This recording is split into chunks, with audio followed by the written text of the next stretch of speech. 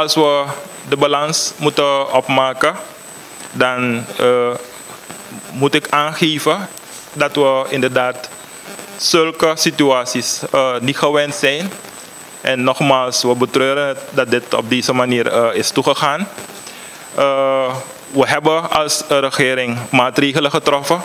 En dat is dat we voor gisteren een, geen avondklok, maar dat de binnenstad zeker is afgesloten. En die situatie gaan we voorlopig behouden. Dat uh, de binnenstad dus uh, afgesloten is en alleen bestemmingsverkeer wordt toegelaten.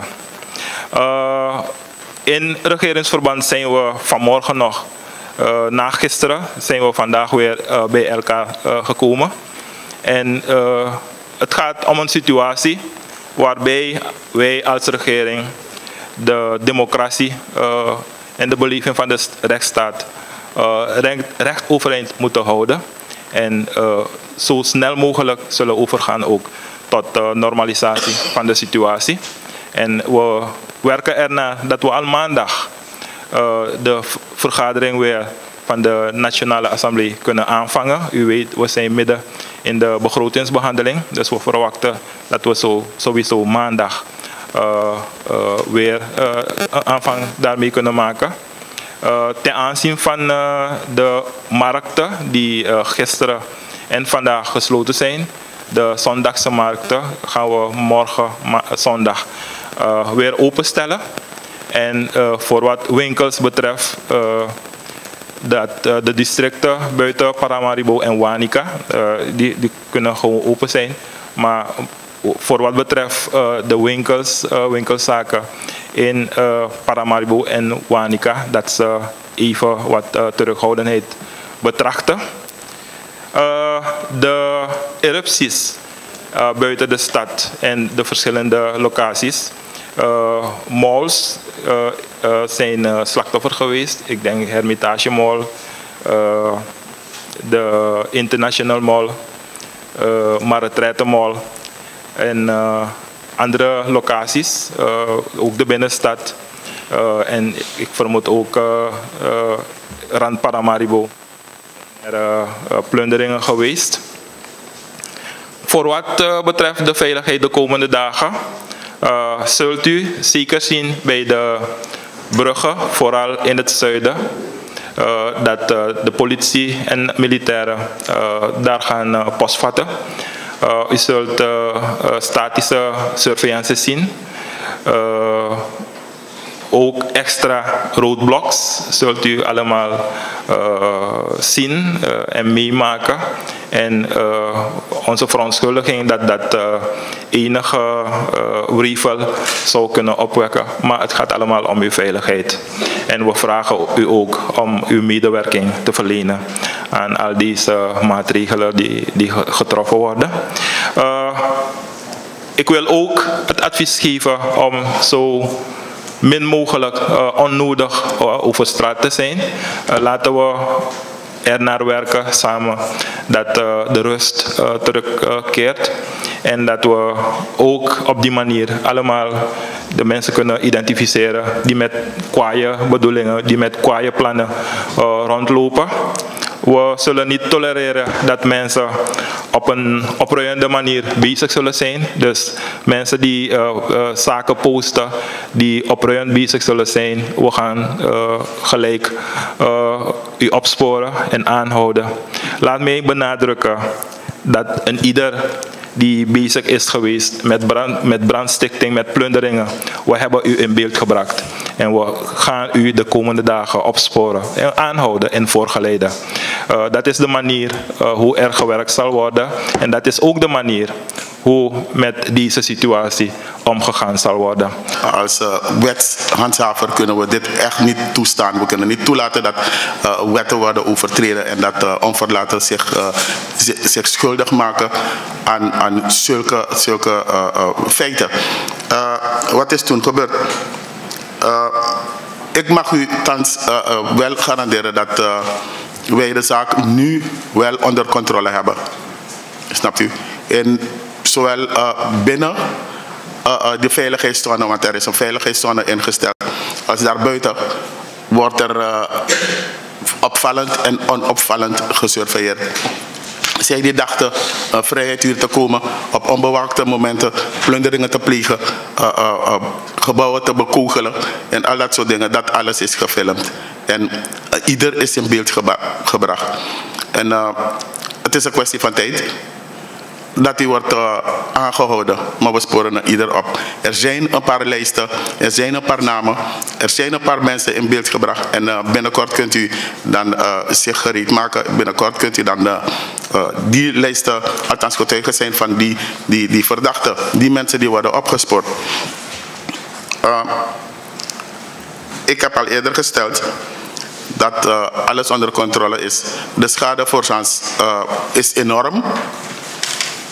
Ik uh, herhaal de schade is enorm.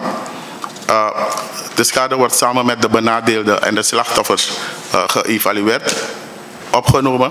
En nu op dit ogenblik kan ik u wel niet exact aangeven wat, althans in cijfers uitgedrukt, wat de schade is. In een later stadium krijgt u die cijfers en dan kunt u zelf oordelen wat voor schade er is aangericht aan de samenleving en aan de ja, aan de eigendommen van derden. Um, wij hebben, de minister heeft het eerder gezegd, wij hebben 119 verdachten aangehouden. Daarvan is er een aantal na voorgeleiding uh, huiswaarts gestuurd. Maar we blijven, we blijven die verdachten in beeld brengen. Uh, wij zijn ook bezig beelden te analyseren. Wij hebben units, onderzoeksunits die speciaal daarvoor uh, uh, zijn, zijn ingesteld. Beelden analyseren, verdachten in beeld brengen. Wij hebben aanhoudingsunits die ook daarna uit die, die, die, die, die handelingen die zijn gepleegd, die strafbare handelingen die zijn gepleegd, uh, nadat die beelden zijn geëvalueerd, die als verdachten die eruit komen, die units, die verdachten worden opgespoord en ze worden aangehouden. En uh, ik ga u zeggen dat wij niet zullen rusten voordat wij iedereen die zich schuldig heeft gemaakt aan een strafbare handeling. Kijk, het moet geen beeld worden dat u zich uh, gewoon vanuit uw, uw huis, u, u, roept een paar vrienden op en u komt gewoon plunderen in de stad. En nadat u hebt geplunderd, gaat u rustig naar huis en het wordt ongestraft gelaten. Nee. We gaan ieder, ieder aanhouden. En we gaan ze ter verantwoording roepen. Dit moet niet het beeld zijn van, die, van Suriname. Suriname is een rechtsstaat. Dit is een heel dieptepunt voor ons in Suriname. En wij gaan gezamenlijk met de veiligheidsinstituten zoals KPS, DNV en overige ervoor zorgen dat de situatie onder controle blijft. Nu is het al onder controle. En wat mag u verwachten van ons als samenleving? Samen met uh, de overige instituten gaan wij uh, ons focussen op de kritieke uh, infrastructuur. In het bijzonder de nusbedrijven, strategische infrastructuur en instituten van de staat. Dat is waar wij op ons gaan focussen. De korpschef heeft ook al aangegeven dat de opsporing uh, nog zal plaatsvinden. De analyse van alle strafbare feiten die gepleegd zijn. Alle personen die deze strafbare feiten hebben gepleegd, zullen worden vervolgd, zullen worden aangepakt. En die ondersteuning gaan wij ook bieden aan het KPS. Mijn oproep naar de samenleving is om het hoofd koel te houden. Want we hebben niets aan anarchie, nog aan bandeloosheid. En het is heel triest om te zien dat ondernemers die heel hard werken, in een flits van een seconde hun investeringen weg zien gaan. Heel triest. Dat kunnen we niet maken. Wij Stranamangs gaan niet zo om met elkaar. Dus mijn oproep nogmaals, nogmaals is om het hoofd koel te houden. Ja, het Nationaal Leger gaat samen met KPS ook ervoor zorgen dat als zich weer dreigingen voordoen, dat wij niet gaan schromen om op te treden. Ja, ook al treden wij onafhankelijk op, want het Nationaal Leger heeft niet zoveel bevoegdheden om op te treden bij de handhaving, of de rechtshandhaving. Maar bij heterdaadgevallen gaan wij wel op kunnen treden. En de instructies zijn ook gegeven aan de troepen. Uh, vandaag is de rust vrijwel teruggekeerd. Uh, En um, we zijn daar heel blij om.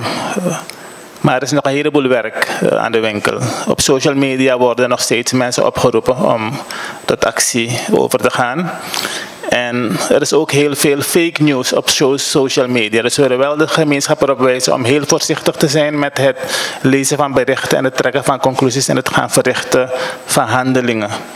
Uh, terwijl we hier uh, zaten, de hele dag kwamen er steeds berichten binnen, dan zou iemand zijn doodgeschoten door de politie, dan zou iemand zwaar gewond zijn geraakt en geen van die berichten blijkt waar te zijn. Het is heel ernstig wat zich heeft voorgedaan gisteren. En uh, vanuit uh, het bureau van de president wordt heel erg betreurd hoeveel schade is toegebracht aan ondernemers, journalisten en anderen. En ook hoeveel mensen gewond zijn geraakt bij, bij dit alles. Uh, van hieruit wordt respect getoond voor de beleving van de democratische rechtsstaat en um, het vreedzaam mogen betogen, het vreedzaam uiten van gevoelens over wat voor onderwerpen dan ook. Maar wat gisteren heeft is gebeurd, heeft toch wel het geloof dat wij hadden als uh, personen belast met de handhaving van de veiligheid, dat onze medeburgers, zoals de afgelopen jaren steeds is gebeurd, vreedzaam hun gevoelens hebben geuit, uh, dat dat enigszins en behoorlijk verminderd is. De excessen die we hebben gehad gisteren, die mogen zich niet meer voordoen. Vandaar dat we harde afspraken hebben gemaakt hoe we daartegen zullen optreden. Met de achtneming van alle wettelijke regelingen. Um, u begrijpt dat politie en het leger zich anders zullen moeten opstellen. Want vanuit de samenleving wordt alom uh, de mening geventileerd, en dat is ook terecht. De indruk bestaat dat de veiligheidsdiensten gefaald hebben. De zaak is schijnbaar totaal geëscaleerd en uh, vele burgers zijn gewond geraakt. Wat we heel erg betreuren en waarvoor we ons medeleven betuigen. En ook de ondernemers die schade hebben geleden door de ontwikkelingen van gisteren. Het optreden van de overheid zal daarom dus aangepast moeten worden. Aangepast worden, heel serieus zijn. En de verschillende eenheden van het Nationaal Leger en de politie hebben instructies gehad om zich anders op te stellen. Met, nogmaals, met de achtneming van alle uh, wettelijke regelingen. Uh, maar anarchie zal op geen enkele wijze getolereerd worden. Ik doe een beroep op de samenleving en uh, ouders en ieder alle andere mensen om hun verantwoordelijkheid te nemen. Ga niet op straat de komende dagen om deel te nemen aan zogenaamde betogingen of oproepen om zaken te doen. Er zijn veel criminele elementen die zich schuldig hebben gemaakt aan plunderingen, ernstige mishandelingen, berovingen, zelfs brandstichtingen. En als je dit soort dingen ziet, dan vraag je je af van zijn deze mensen wel Surinamers? Als je de meningen volgt van sommige mensen op social media, dan wordt het goed gepraat en gezien als een legitiem middel om bepaalde doelen, al dan niet in bestuurlijke zin of politiek opzicht te bereiken. Maar we moeten ervoor waken dat wij als samenleving niet afglijden naar een niveau waarin de situatie onbeheersbaar wordt. Daarom zeggen wij ook, de zaken zoals ze zich nu hebben voorgedaan mogen niet zich niet verder uitbreiden, mogen niet groter worden. We moeten de zaken, terwijl ze nog beheersbaar zijn, aanpakken. Vandaar dat er geen enkele mogelijkheid onbenut zal worden gelaten om de situatie te beheersen. Gelijktijdig is de president ook in overleg met uh, maatschappelijke groepen uit de samenleving. Vandaag heeft hij overleg gehad met uh, het bedrijfsleven, waaronder VSB, ACMOS, de bankiersvereniging en andere vertegenwoordigers. En daarover zal er later een, een update gegeven worden. We zijn zeer verheugd, ik persoonlijk zeker ook, dat, we, dat er geen levens te betreuren zijn geweest. En laten we dat zo houden. Voorlopig moet iedereen rustig thuis blijven waar het noodzakelijk is, ga je uh, de straat op natuurlijk. Maar men moet zeker niet gaan deelnemen aan plunderingen, ordeverstoringen en, en andere demonstraties. Veiligheidsdiensten hebben speciale instructies. Um, je kan gewond raken. er zijn belangen die afgewogen moeten worden. Uh, het recht op, om vreedzaam te betogen is natuurlijk een erkend recht. Aan de andere kant hebben de andere mensen in de samenleving ook hun rechten. Dus als je rechten uitoefent, probeer het op een zodanige manier te doen dat andere hun rechten niet daarvoor vertrapt hoeven te worden. En de ordendiensten zijn daar om daarvoor te zorgen. Uh, belangrijk is dat wij um, heel erg ons medeleven tonen naar de slachtoffers, naar de gedupeerden, naar de benadeelden. En er zal wat dat betreft een speciaal beleid worden ontwikkeld om uh, de mensen tegemoet te komen. Um, en ik praat niet over schadevergoeding specifiek, nog niet op dit moment, maar zullen naar manieren worden gekeken om wat verkeerd is gegaan, om dat uh, te corrigeren, om dat te compenseren. Winkelzaken leegplunderen, dan wil ik het persoonlijk niet zien als een democratische uiting. Er zijn andere manieren om je op een democratische manier te uiten. Het, het lijkt alsof sommige mensen binnen de samenleving willen zeggen: dit is onderdeel van die ondervrede van het volk. Het volk boos, loeken de mij straat de mij doet Wat gebeurt er met de rechten van de andere burgers die door dit handelen getroffen worden? Of met de voeten betreden worden? Dus ik doe een dringend beroep op de samenleving, alle burgers. Er zijn democratische spelregels. Je hebt de ruimte om te betogen. Je kan staan met je bord. Dus je kan het vreedzaam doen. Ik zie niet waarom je zou moeten overgaan tot het gebruiken van geweld. Want dat gaat alleen de basis van de samenleving aantasten. En een cultuur creëren van met geweld kan je betere resultaten bereiken. Kan je andere dingen doen. Dus de regering geeft aan dat ze alle ruimte laten. Daartoe de president is nu in overleg. Maar dit is echt een politieke kwestie. Wij willen ons hier vooral uh, beperken tot de juridische en opsporingstechnische zaken die, die, die plaatsvinden. Dus wat gebeurt is, uh, keuren we ten zeerste af. En we betuigen natuurlijk medeleven aan alle slachtoffers. Maar dit mag niet meer gebeuren. Alle instituten zijn in stelling gebracht. Men moet niet denken dat dit een grapje is. Want wanneer de signalen van de zijde van de veiligheidsdiensten komen, dan gaat men weer iets anders willen roepen. Er zijn militairen en politieambtenaren ernstig gewond geraakt. Men heeft branden gezegd. De situatie is heel ernstig. Men moet ophouden hiermee en de weg van die democratische rechtsstaat weer gaan bewandelen. Wij willen niet afgeleid tot het niveau van Haiti of andere landen waarbij men de controle totaal kwijt is geraakt. Dus laat men de ernst van deze zaak beseffen en gewoon de democratische spelregels in acht nemen. Vanuit de regering zal alle moeite gedaan worden om de noden die onder het volk leven, om die te vernemen en daaraan invulling te geven. Maar natuurlijk is er een heel verhaal wat mij helemaal niet regardeert met onderhandelingen met IMF. Met kijken naar wat de staat verdient, wat besteedbaar is voor de noden van het volk. Maar vanuit de positie zoals ik het bekijk, dan doet de regering alle moeite om binnen de mogelijkheden oplossingen te brengen. En natuurlijk kan je geen eisen met handen breken. Maar je kan natuurlijk wel een stukje empathie tonen. En dat doet de regering en de komende dagen zal dat ook blijken. Omdat ik bij het overleg vandaag aanwezig ben geweest. Vanuit de regering zullen al die maatregelen worden getroffen, die initiatieven worden genomen. Maar niet alles is mogelijk, helaas. Maar de kern van mijn betoog is, mensen gaan terug naar de democratische spelregels. Er is ruimte, je krijgt de ruimte ook van de veiligheidsdiensten. Ga je daar buiten en er ontstaan, er staan ernstige strafbare feiten, misdrijven, plunderingen, brandstichtingen, dan hebben de veiligheidsdiensten geen keus dan hard op te treden. Het is nu al genoeg geweest.